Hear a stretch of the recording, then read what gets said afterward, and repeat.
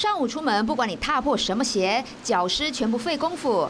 东北季风和华南雨雨带东移分进合集，中部以北和东北部下雨，没一刻能喘息的。气象局表示啊，针对台南以北有十一个县市发布大雨特报。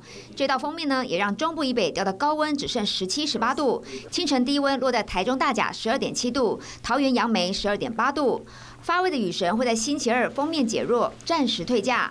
白天高温呢也能回升到二十五到二十七度。不过星期四下一道封面接力报道了，预计一路影响到星期天，所以呢星期六开始的四天清明连假就有两天得泡在水里。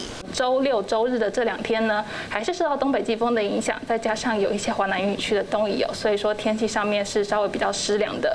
不过可以看到，在周一一直到周二，东北季风减弱了，然后在台湾附近的水汽也会比较减少一些，所以整体上面呢，就是呃以东半部有一些局部的降雨为主，那其他各地大致是多云到晴。气温也都会回升。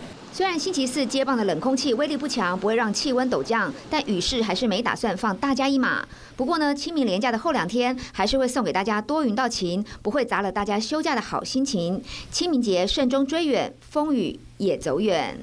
华视新闻黄敏惠、方启年台报道。华视新闻看起来，赶快订阅我们的华视新闻 YouTube 频道，欢迎按赞、订阅、开启小铃铛，最新最及时的资讯要提供给你。